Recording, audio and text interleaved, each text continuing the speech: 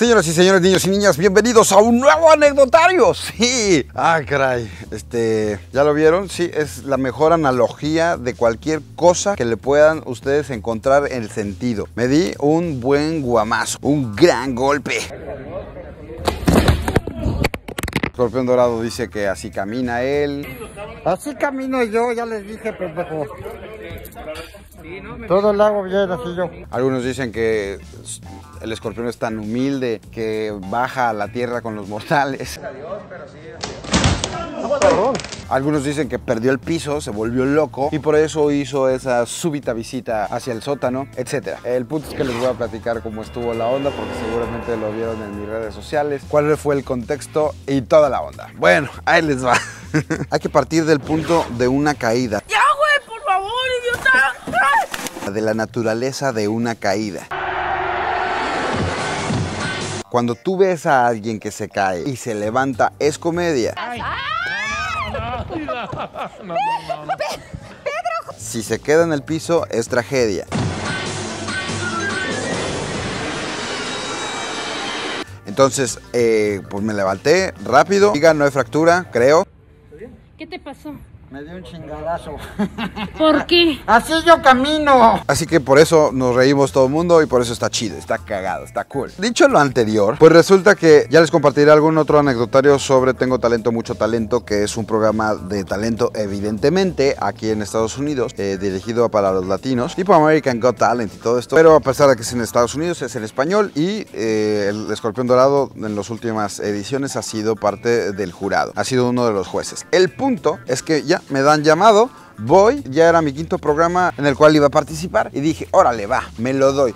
Y llegué, todo bien, todo cool. Y parte de las medidas de seguridad que se tienen en el programa es que siempre traigas careta, siempre traigas este cubrebocas, porque es importante y, y esa es la base para que todos podamos seguir trabajando y no haya un contagiadero, ni tú le des en la torre a alguien, ni que alguien te dé en la torre a ti. Entonces es, es una cuestión de mutuo respeto. Antes estaban los jueces así eh, apachurraditos juntos y ahora está cada quien como en su cubículo para no tener tanta interacción eh, a la hora de estar hablando. Lo cual indica que antes de que pensemos a grabar y que nos pongamos en nuestro lugar, antes de eso pues estamos ahí como cotorreando por la vida y platicando y yo trato de seguir teniendo la careta. Entonces si ven en esas imágenes, muchos de los que estamos en esa bolita pues, tienen la mica o tienen el cubrebocas incluido yo, a pesar de que tengo la máscara. Y ahí va la combinación del desastre. Se hizo un combo de malas posibilidades para que esto sucediera. Uno, la máscara del escorpión dorado. Dos, súmale eh, que abajo de la máscara de escorpión dorado tenía yo la- el cubrebocas y eso provoca que tenga todavía menos visibilidad. Ya se los había comentado en algún anecdotario que cuando me pongo la máscara a la hora, de, por ejemplo, de jugar fútbol te cuesta muchísimo trabajo porque la pelota está en el piso y entonces tienes la visibilidad hacia el frente sin ningún problema. Pero como está la tela aquí estorbándote, tengo que estar bajando la mirada para ver el piso porque no se ve el piso. Se convierten en algunos puntos ciegos este tipo de cosas, ¿me explico? De por sí la máscara del escorpión por default me limita la visibilidad, con esta cosa todavía es menos la visibilidad. Le sumamos que todavía no comenzábamos a grabar, o sea, todavía no estaban todas las luces prendidas del escenario, estaba medio oscuro las cosas. La parte del escenario eh, tiene como una especie de pasarelas, como unas tres pasarelas me parece, para que se acerquen un poquito más con los jueces. Entre el escenario y la parte de los jueces hay una separación más o menos como de un metro, digamos, un metro y medio, no sé. Y para rematar eh, todas estas eh, circunstancias en contra, vean qué pie estoy utilizando para dar el paso. Así es. Mi pie derecho es donde me rompí el tendón. Para los que no tengan el contexto, miren nada más, miren nada más qué hermosura de tendón. Qué hermosura. No me vean el trasero. Ahí es donde me operaron. Todavía no tengo toda la fuerza, toda la fuerza que, que yo quisiera. Entonces se combinó todo eso. Y a la hora yo de dar ese paso, no, entre que no le atino y no tuve la suficiente fuerza para sostener todo mi cuerpo con la punta de este pie, mocos. Toma la papá. Azotó la marrana. Ay, Y aparte, güey, todo esto está grabado, ¿no? Primero estaba grabado por mi, por mi celular, por eso se cae el celular, por eso bien que se cae el celular. Porque yo lo había colocado ahí para que siguiera grabando como un time lapse, como cuando le ponen en cámara rápida así lo que está sucediendo. Entonces ahí había dejado mi celular. Entonces grabó absolutamente todo. Y por si fuera poco, la gente de Pepe Garza estaba haciendo algunos aspectos, estaba grabando hacia el escenario y justo cuando me doy el chingazo, estaban Entonces ya estaba escrito que, tenía, que, pasar así. Todas las circunstancias que les digo que estaban sucediendo y dos cámaras apuntándome, a pesar de que el programa no estaba este, todavía grabándose, estaban dos cámaras captando todo lo que estaba pasando conmigo. Entonces estaba escrito, así debía de ser y así fue. Obviamente todo el mundo se preocupó cañoncísimo que, me había pasado. Eh, déjenme enseñarles, este, tengo ahí algunos otros clips, pero bueno, para que vean cómo está en este segundo. Ahí está el madrazo que me di eh, este, en la espinilla, es como un madrazo triple, ¿no? Pac, pac, y ya el, el bueno fue acá, o más bien, primero fue aquí y después hubo un, un par así, instantáneos, rápidos. Y sí me metí buen guamazo, cabrón. Ahí, ¿quieren ver cómo quedó? Miren, ahí ya salió el mole. Y no más. Y luego de este lado, de este lado estuvo leve, fue mu- mucho más arriba. Este lado fue mucho más el, el golpe que el raspón.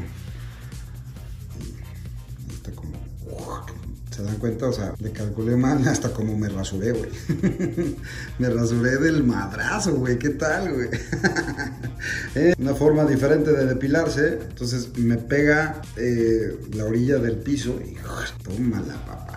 El punto es que sí, me di esos tres guamazos y luego, luego llegaron ahí a atenderme, a ayudarme. En el momento que me caí, toda la adrenalina y demás, pues no me dolía casi nada, ninguna parte. Y de repente ya me empezó a calar y ya empecé a, a checarme y me di cuenta que tenía dos, tres madrazos. Ya me empezaron a poner ahí pomadita, todo el mundo pero medio preocupado, ¿no? Pero todo bien. Finalmente, la distancia que había de la pasarela al escenario no era tanta. Como vieron, los madrazos radicaron en que en la inercia que voy hacia adelante, mis dos piernas chocaron con la parte de, de la tarima de los jueces. Todo lo demás no me pasó nada. No me pasó, o sea, ni en la cara, ni de la cintura para arriba, nada, güey, nada, nada. No me dolió eh, en absoluto. El problema fue los dos chingadazos este, a la hora de, de ir hacia adelante, ¿me explico? Afortunadamente, güey, porque ustedes saben lo difícil que la pasé la otra vez cuando, cuando me rompí el tendón, que no podía caminar para ninguna parte y necesitaba ayuda de todo. Agradecí a Diosito que nada me lo haya regalado como para el anecdotario, pero no pasó, no pasó a mayores. Sigue, dijo el árbitro, y, este, y seguimos grabando ya como si nada. Obviamente lo usamos ahí como de botana. El escorpión dorado sigue insistiendo que así camina él.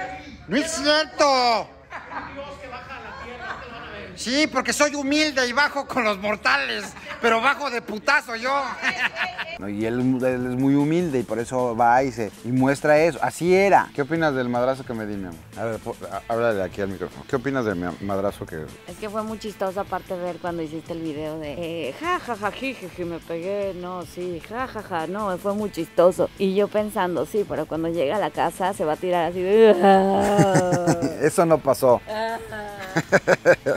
Sí, obviamente. Dije, le voy a mandar este mensaje a Dana rápido antes de que, antes de que le digan se cayó y se vaya a asustar o alguna cosa así. Y le mandé videito. Y ya llegué. Y ya, pues, si Dana y los niños estaban mu- muertos de risa al ver mi, mi caída. Risa y risa estaban. Ya sé, güey. Obviamente, hasta yo me reí que me sigue doliendo. Entonces, este, pues bueno, así las cosas, muchachos. Y ya, pues ni pedo, güey.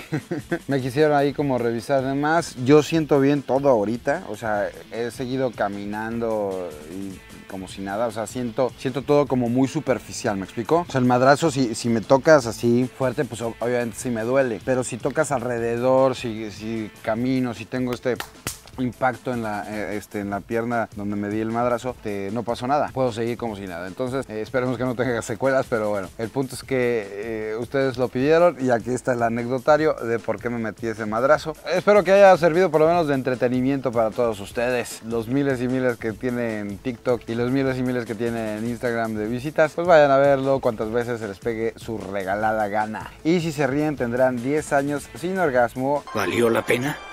Ha valido cada maldito segundo.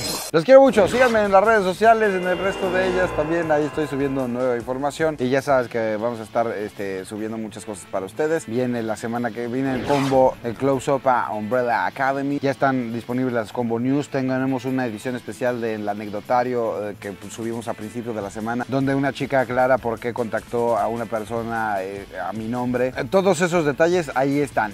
Seguimos produciendo videos obviamente y también está el escorpión al volante ya, el escorpión al volante con Freddie Mercury. ¿Qué? Ah, ¿Cómo se logró eso? Chequenlo ustedes ahí en el canal de El Peluche en el Estuche. Mientras tanto, vámonos que aquí espanta. Yo soy Alex Muriel, pásala chido. Nos vemos en el cine. Bye.